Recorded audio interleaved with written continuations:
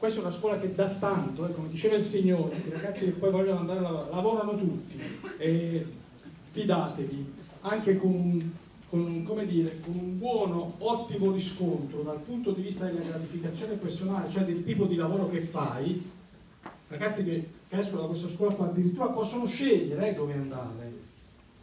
Terna, sapete cos'è Terna? È, è, è l'azienda che si occupa della distribuzione dell'energia elettrica sul territorio ha difficoltà a trovare ragazzi usciti da qua, sia gli studenti sia i genitori, viene, viene eh, assegnato un username e una password, agli studenti anche un badge elettronico che gli serve per attestare la loro presenza all'ingresso, ok? E l'uscita eventualmente i ragazzi escono, eh, dovessero uscire anticipatamente. A cosa servono username e password? Io credo che questa è una scuola altamente informatizzata. Computer ne troverete quanti ne volete, lo vedrete, non c'è bisogno che ve lo dico io.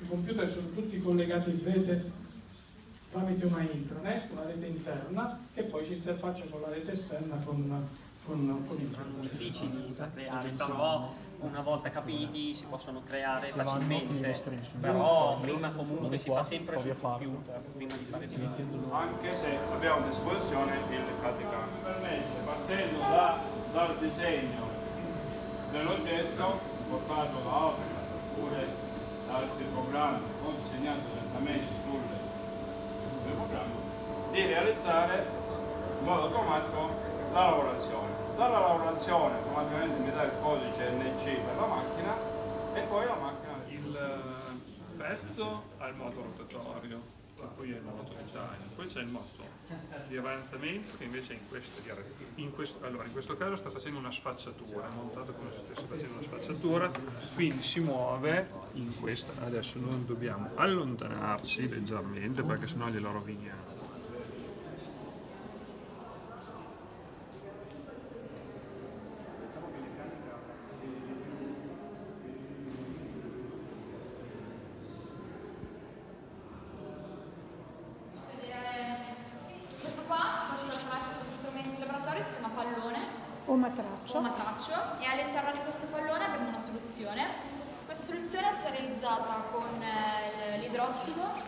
glucosio e l'indicatore, questo indicatore si chiama burdimetilene, in questo caso allo 0,1%.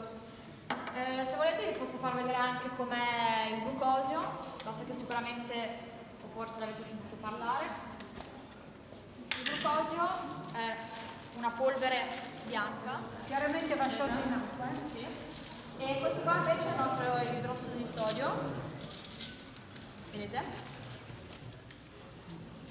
che sono pastiglie che appunto sciolto in questa soluzione provoca un, una vibrazione diciamo di elettroni che appunto con il nostro glutimetilene andrà a colorare la nostra soluzione agitiamo vigorosamente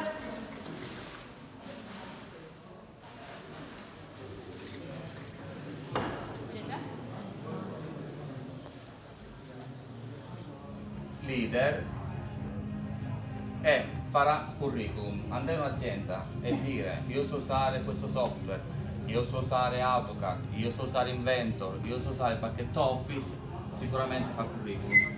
Qui nelle schermate vedete ehm, stiamo facendo disegnare ragazzi eh, dei semplici deposito magazzini in 2D, in pianta o in 3D.